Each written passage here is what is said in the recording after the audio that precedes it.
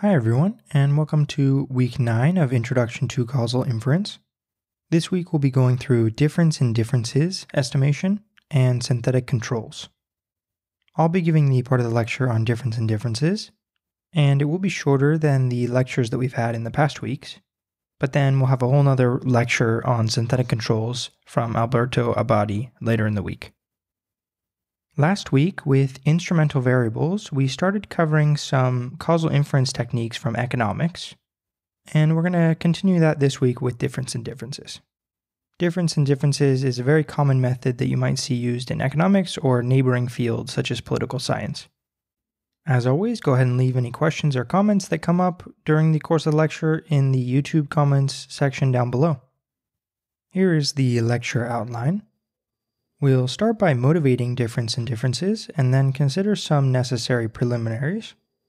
Then I'll give you an overview of the method before we jump into the formal assumptions and proof of the method.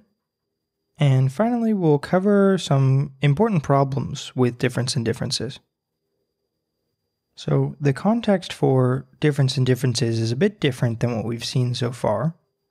Importantly, there's an aspect of time. So we'll still have a treatment group and a control group, but the treatment group won't get treatment until a certain point in time. So here we have the outcome on the y-axis and then time on the x-axis here. And the control group's outcome is going to change over time, even though we haven't given them the treatment at all. Unlike the treatment group, who will not get the treatment until a specific point in time. So they're going to be just like the control group in terms of the fact that they won't have the treatment up until this point, and then after that, they will have the treatment. So the treatment's administered at a specific point in time to the treatment group, not to the control group. And the fact that we have this time dimension now is going to be helpful. So we're going to use the fact that we observe these groups over time to help us with identification. Here's a popular example from this Card and Krueger 1994 paper. They wanted to study the causal effect of increasing minimum wage on employment. So the treatment group here was New Jersey. New Jersey was going to have a new increase in minimum wage law go into effect at this specific point in time with the dotted line. And then the control group was the neighboring state, Pennsylvania, who wasn't going to have any minimum wage increase. Okay, so we see that employment in the control group in Pennsylvania is just going down over time in this graph. That shouldn't really have anything to do with the treatment because of the control group. They're not getting the treatment. And then we see that in the treatment group, we see a different trend. And we're going to use these differences in these trends to get our causal effect estimate. But before we do that, there's one important preliminary that we haven't seen yet in the course, which is the average treatment effect on the treated. So we've seen the average treatment effect, and we've seen that under the unconfoundedness assumption here, so that's where the potential outcomes are both independent of treatment. Alternatively, you could think of this as there's no backdoor path from t to y in the causal graph. Under this assumption, we have the following identification. So we can get the average treatment effect as just the difference in these conditional expectations in the treatment group versus the control group. But there are other causal estimands to be interested in. So, for example, one really common one is the average treatment effect on the treated, which we'll denote as ATT. So this is just the average treatment effect, but now we are specifically looking at the treated group. We're conditioning on t equals 1. So we don't care about the average treatment effect in the control group, if this is the estimand we're interested in. And with this estimand, we don't need to make as strong of an unconfoundedness assumption. So here we only needed to assume that the potential outcome y0 is independent of treatment, rather than both potential outcomes. And under this assumption, we have that we get the same identification. And we'll go ahead and prove that really quickly since it's only a few steps. The first step is the usual application of linearity of expectation. Then if you look at this first term, which is a causal term because it has a potential outcome in it, so y1 given t equals 1, because the potential outcome, the number in the parentheses there, matches the treatment that we're conditioning on, we can use consistency to just identify that. It just turns into the regular conditional expectation. We can just remove the potential outcome because we're conditioning on t equals that same value. But this second term is counterfactual. So the potential outcome y0, the 0 doesn't match the t equals 1, so it's counterfactual. Here's where we need to use our weaker unconfoundedness assumption. So because y0 is independent of treatment, we can just turn that into, we could either remove the t or we can change it to t equals 0. Here we change the conditioning to t equals 0, so then we can use consistency again to then identify this last term. And that completes the proof. This brings us to our first question, which is what is the difference between the ATE and the ATT?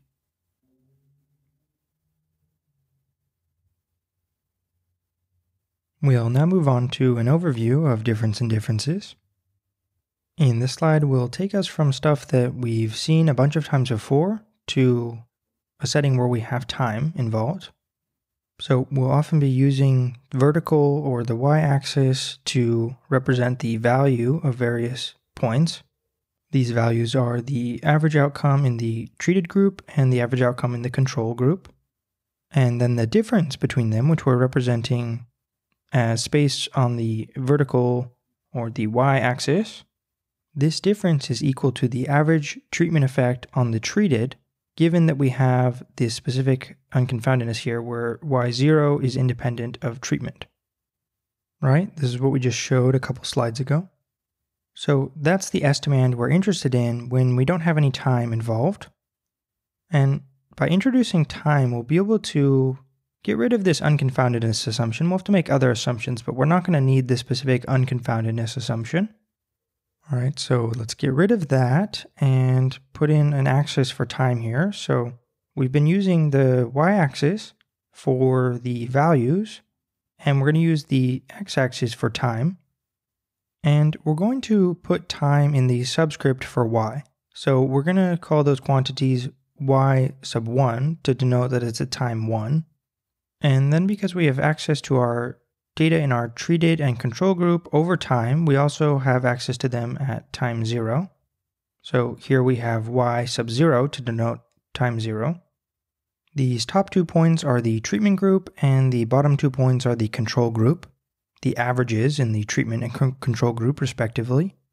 And now rather than having one point for the treatment group and one point for the control group, we have two because we're measuring these groups both before and after treatment. So there's some time in between t equals 0 and t equals 1 where treatment was administered. So of the four points on the slide, only the top right point represents data where they received the treatment. So not only do you have to be in the treatment group, the group that will receive treatment, but you also have to be at a time after the treatment was administered the treatment group hadn't received treatment at time t equals zero, so this point doesn't doesn't really have treatment involved in it. And then the points in the control group, they never are involved with treatment. They're the control group, they're never going to receive treatment. So for these ones that do receive treatment, y1 given t equals 1, we want to know the potential outcome, y sub 1, 1, so that's if they do receive treatment, minus the potential outcome when they don't receive treatment. And that's something that we won't observe because we're specifically looking at the treatment group, where everyone's going to be receiving treatment at time t equals 1. But so by the consistency assumption, we have that this quantity in the top right is equal to the first term in that ATT estimand with time involved on the bottom there. And then we want to know what's going to happen with the other term, the y1 0 given t equals 1.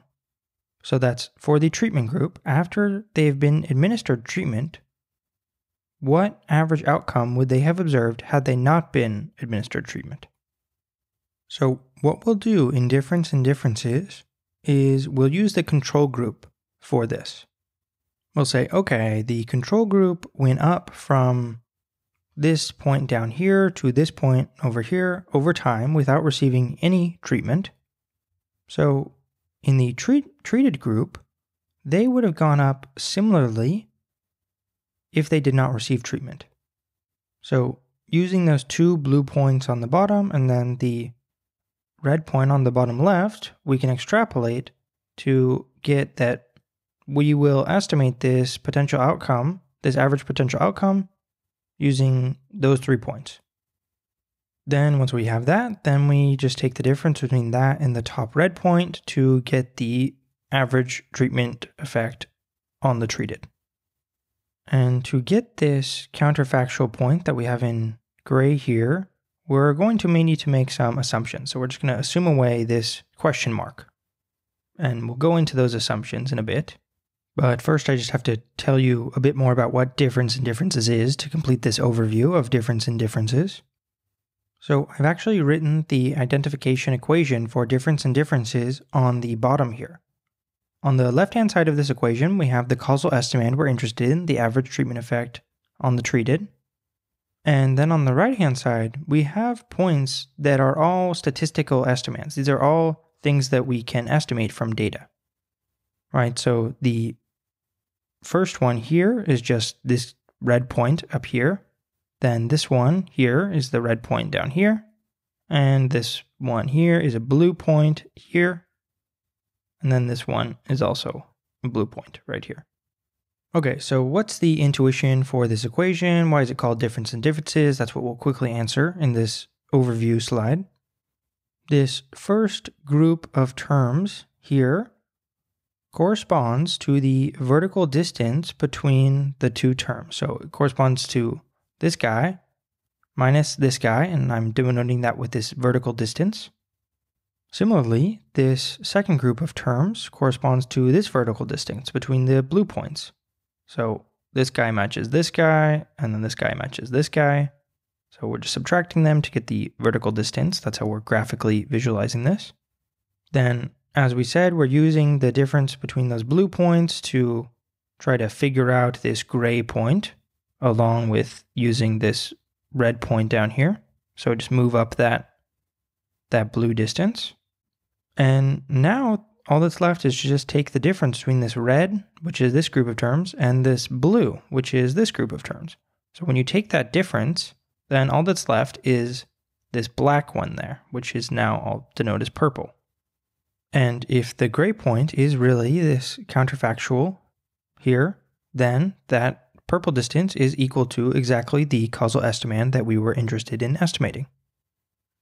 And one of the cool things about difference in differences is that it can tolerate some amount of unobserved confounding. So unobserved confounding that's very specific in the sense that if there are unobserved confounders that are time invariant, they don't change over time, then those are something we won't need to worry about with difference in differences. It can handle those.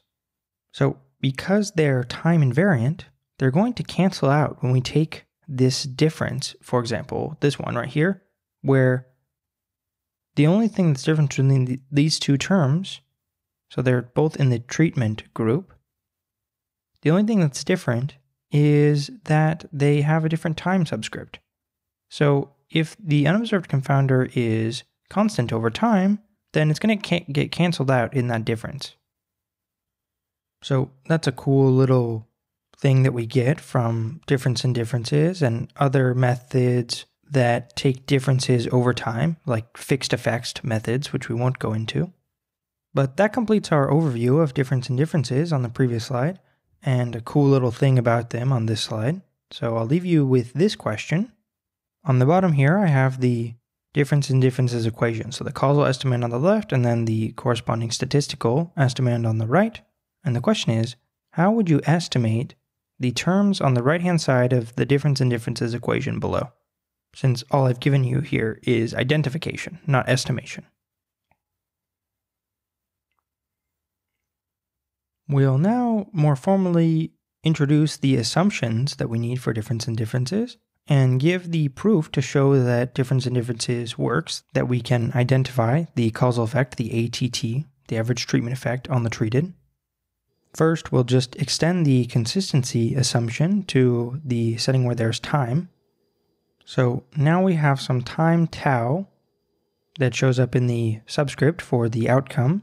And this consistency assumption just says that if treatment, big T, is little t, if it takes on the specific value little t in the data, then the observed value of outcome, y sub tau, is equal to the potential outcome that we would have observed at time tau if we'd gotten treatment little t. So this is just consistency where we've added in this tau subscript here and then said that this holds for all times tau. So here are some examples. If we have the causal estimand, the average potential outcome under treatment at time tau, given that we're in the treatment group, then because we're in that treatment group, t equals 1, we're conditioning on t equals 1, we actually observe that potential outcome under treatment. And that means that we can identify this causal estimand as this statistical estimand here, where we've just removed the potential outcome. So just as before, we have causal estimands when we have potential outcomes and statistical estimands. These are things that we can estimate from the observational data when we don't have any potential outcomes. So here that's just the parentheses here. The subscript tau isn't important for whether it's a potential outcome or not, right? Because we observe data at every time step. And then it's the same for the control group. If you're interested in the other potential outcome under no treatment, given that you're in the control group, then you can identify this causal estimand as the statistical, statistical estimand where you just have the observed outcome at time tau. This is in contrast to counterfactual quantities, where here, if we were interested in the outcome under treatment at time tau, but we're in the control group, this is something that we can't identify with consistency. We need more assumptions for identifying this because this is a counterfactual quantity. We don't directly observe this. And then same for this other one here. So if we were interested in the potential outcome under no treatment, if we are not in the control group, we're in the treatment group, then that's a counterfactual quantity. Consistency doesn't tell us anything about that. Okay, so that was just extending the consistency assumption. And now we're going to see what's probably the defining assumption for difference in differences, the parallel trends assumption. So we were interested in identifying this ATT quantity here, but we needed some assumptions to identify that. And the main thing that we noted is that we observed these two blue points, so we can get the difference between them and we observe this bottom red point, so we can add this difference onto this bottom red point to get what we hope to be this counterfactual quantity that we've denoted by this gray point. Okay, so the parallel trends assumption is that these two vertical distances between the two blue points and between the red and the gray point are the same. These two blue intervals are of the same length. An equivalent way of saying that is that this black line connecting the two blue points and the dotted gray line connecting the red and the gray point are the same slope. In other words, they're parallel lines. That's why it's called the parallel trends assumption.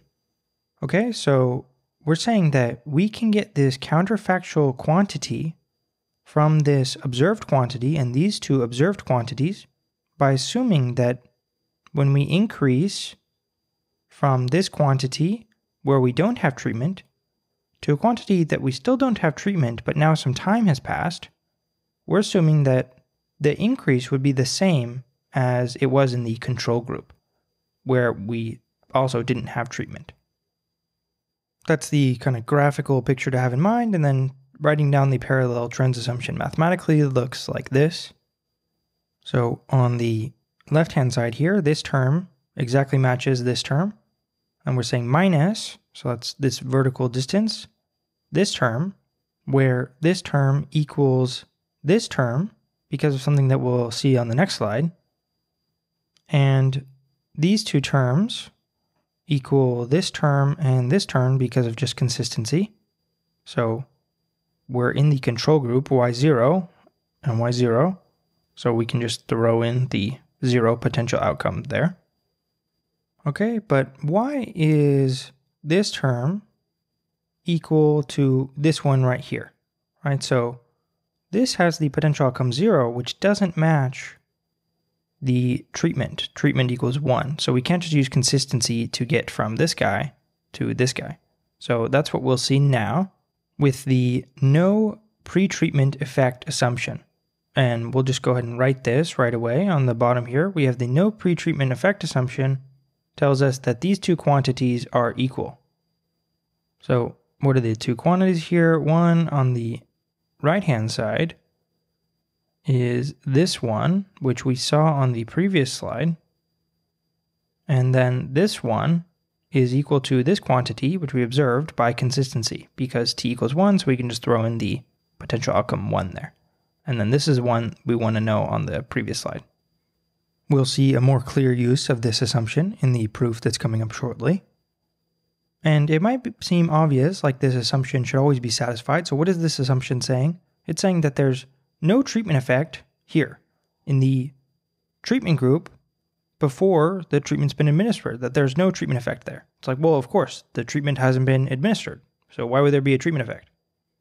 But there are cases where this assumption is violated. So, for example, if people are anticipating the treatment that they'll be getting soon, then they might act a bit differently than if they weren't anticipating that they would get that treatment. So, the treatment does have some effect on them. So, this is something to make sure is actually satisfied. This assumption is actually satisfied if you're using difference in differences in practice all right, so before we get to the proof, let's kind of take stock and compare the assumptions we have now to ones that we've seen throughout this course. So I'll put the causal estimand we're interested in on the left and the assumption on the right, the assumption that helps us identify that causal estimand. The thing that we saw initially was the average treatment effect on the treated when we didn't have any time. Okay, so this is the ATE if you didn't condition on t equals 1 here, that's just the ATE, and that's the thing that we've been interested in all throughout this course. I just have the ATT here, so that's going to be a bit more comparable to the estimand that we see that it does involve time now. So the assumption that's important for identifying this causal estimand is this unconfoundedness assumption, where y0 is independent of treatment. And we're going to contrast that with the assumption that we use for difference in differences. So here is the quantity we care about for difference in differences, it's the same as the above one, but now because time is involved, we have to specify that we're specifically interested in time one, right? So that's after treatment has happened. And the defining assumption here is the parallel trends assumption.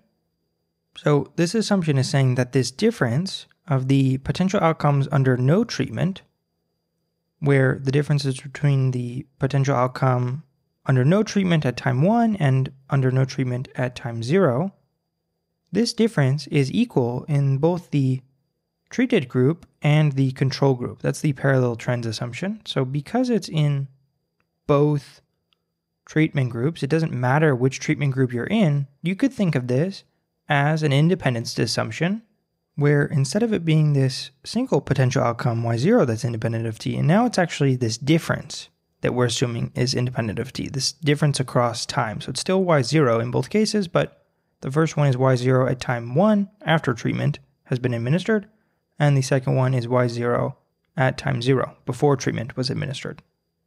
So parallel trends is kind of like this unconfoundedness in difference space assumption. And we could have specified it as mean independence right? So this is mean independence here, and then this is full independence. So it's a bit stronger of an assumption, but it's just a bit easier to look at this independence and this independence than mean independence ones. And with all those assumptions out of the way, where we can get to the proof. So recall that difference in differences, what we're interested in showing is that this quantity, the ATT, is equal to the difference between this difference and this difference, where the graphical intuition for this first two terms is this whole red vertical, and then the blue is this blue vertical, which by the parallel trends is we get from this blue vertical. And then we're taking the difference between this red and this blue to get this purple. So that's what this equation you can think of is going on in this equation graphically. And now we're going to prove this equation using these assumptions that we just covered. All right, so here is that equation with the causal estimand on the top left and the statistical estimand on the bottom right. As usual, the first thing we do is apply linearity of expectation. Then we can immediately identify this first term on the right hand side using the consistency assumption. So basically, what we need to do to identify this ATT causal estimand is to identify this specific counterfactual causal estimand here.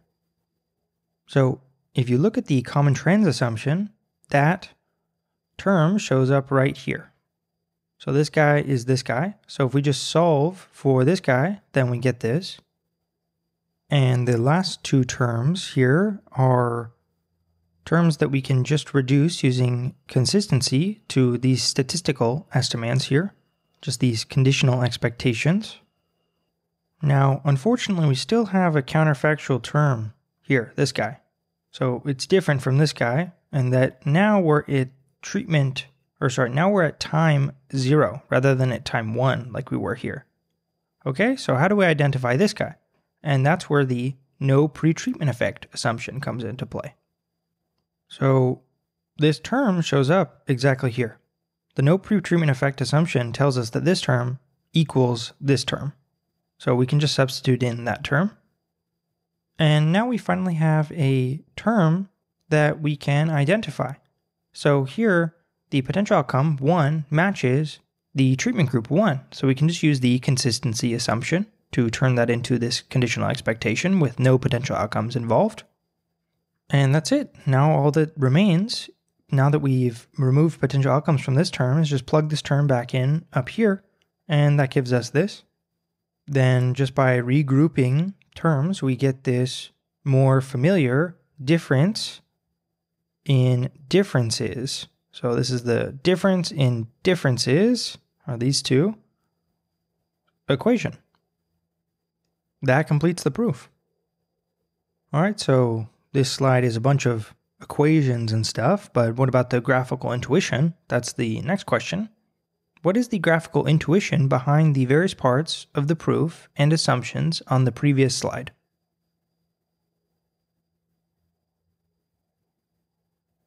Unfortunately, there are quite a few serious problems with difference and differences, and we'll cover some of the bigger ones in this part of the lecture. The first is it's probably not uncommon to have violations of the parallel trends assumption.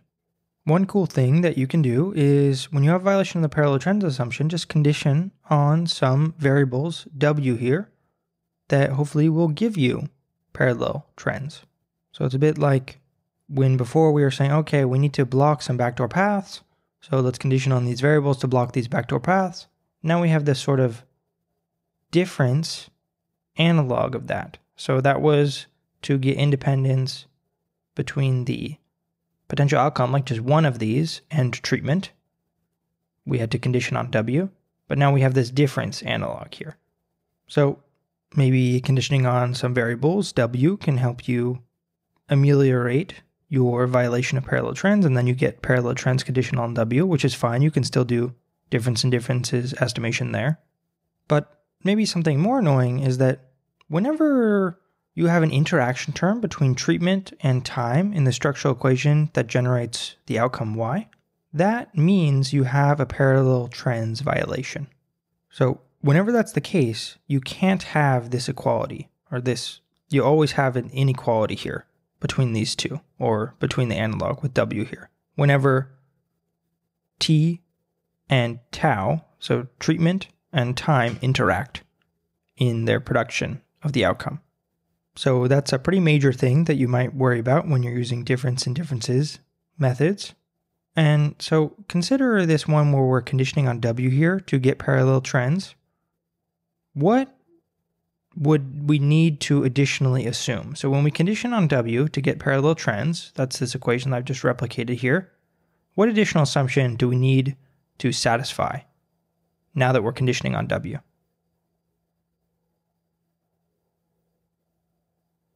All right, so say that you do have parallel trends satisfied, that's what we have here, but you're interested in your outcome not quite in the space just y here. You're interested in a different space, so some transformation of y.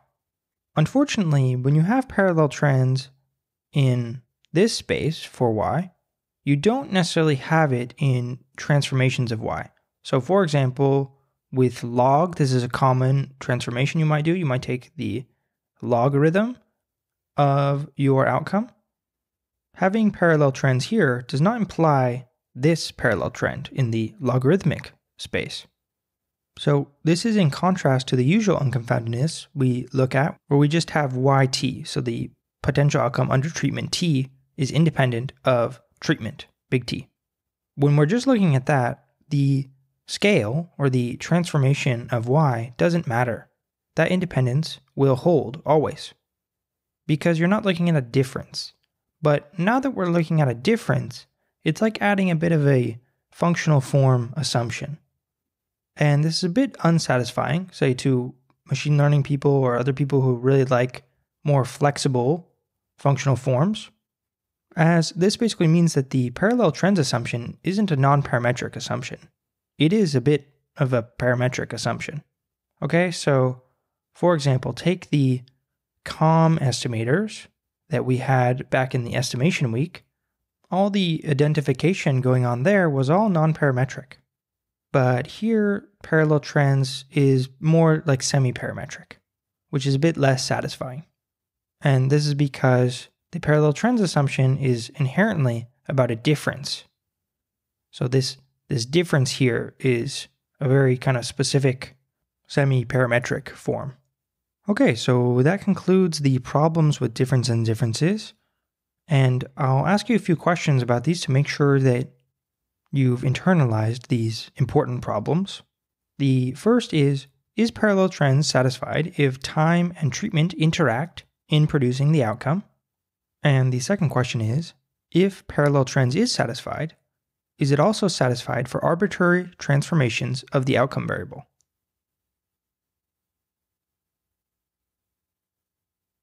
With that, we'll conclude our lecture on difference in differences. Make sure to go check out the lecture on synthetic controls, not by me, but by the expert on the topic, Alberto Abadie.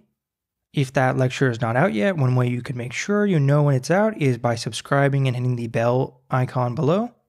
If you like these lectures and you want to help me out with my self esteem that I derive from likes on these lectures, go ahead and smash that thumbs up button below.